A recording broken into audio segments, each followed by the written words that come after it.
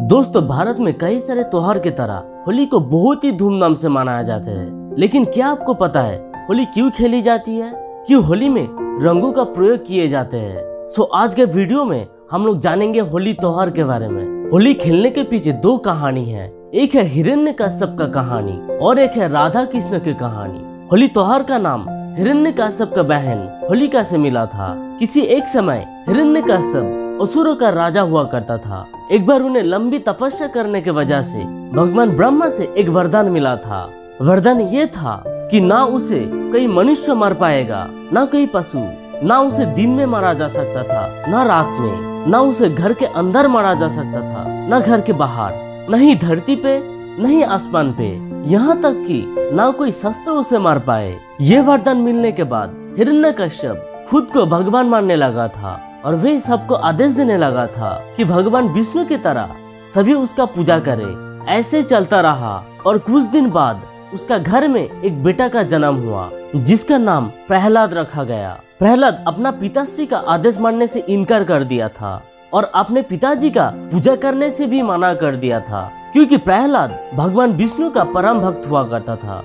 जब बाहर के लोग उसका पूजा करते, पर उसका ही खुद का बेटा उसकी पूजा ना करता ये चीज़ हिरण्य कश्यप को सहन नहीं हुआ था, और इसी चीज़ को लेके वह बहुत ही क्रोधित हो गया था, और प्रहलाद को धमकिया देने लगा था। जब कोई धमकिया काम ना आया, तब वो अपने आप एक षडयंत्र रचा कि प्रहलाद का निधन कैसे किया जाए। प्रहलाद को मारने के लिए उसने कई सारा तरीका अपनाया, जैसे कि प्रहलाद को एक बार जहरीला सांपों के साथ छोड़ दिया था, लेकिन प्रहलाद के ऊपर भगवान विष्णु का साथ था। जो प्रहलाद को जहरीला सांपों से बचाया और एक बार प्रहलाद को गरम तेल का कढ़ाई में फेंक दिया था। लेकिन इस बार भी हिरण्य कश्यप असफल रहे। इतना कुछ होने का बाद भी प्रहलाद भगवान विष्णु का पूजा बंद नहीं किया था। इससे हिरण्य कश्यप और भी क्रोधित हो गया था। जब कुछ भी काम न आया, तब उसने प्रहलाद को मारने के लिए अपना राक्षसी बहन हलिका को बुलाया और प्रहलाद को लेके जलती हुई आग में बैठने के लिए आदेश दी। होलिका के पास एक ऐसा चादर थी जो होलिका को आग से बचा सके। होलिका अपने ऊपर एक चादर मोड़ ली और बालक प्रहलाद को लेके जलती हुई आग में बैठ गई। हवा की वजह से वो चादर उड़ के बालक प्रहलाद के ऊपर पड़ी और चादर ना होने के वजह से होलिका जल के भस्म हो गई।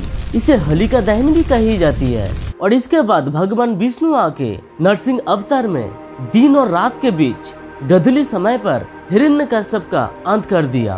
तभी से होली का त्योहार बुराई पर अच्छाई का जीत का प्रतीक के रूप में मनाया जाता है। और दोस्तों, इसके साथ और एक सवाल आता है कि होली में रंगों से क्यों खेली जाती है? बचपन में भगवान श्री कृष्ण अपने माता यशोदा से अपना रंग को लेके शिकायत करते थे, क्योंकि भगवान कृष्ण की रंग को लेके राधा जी उन्हें चिराया करते थे। कृष्ण जी की बात सुन के यशोदा माता हँसते थे। तब यशोदा माता कृष्ण जी को एक सुझाव दिया। सुझाव ये दिया कि राधा को जिस रंग से वो देखना चाहते थे, वो रंग राधा जी को लगा दे। रंग लगने के वजह से राधा अब गोरी होने की गुरु नहीं कर पाएगी। इस चीज़ से कृष्ण जी को बहुत ही मज़ा आया। तब अपने दोस्तों से मिलके वृंदावन में होली खेलना शुरू किया। तब से होली में रंगों का प्रयोग होता आ रहा है। सो यही था आज का वीडियो में दोस्तों। अगर आपको मेरा वीडियो पसंद आया, देन मेरा चैनल को सब्सक्राइब कीजिए। धन्यवाद।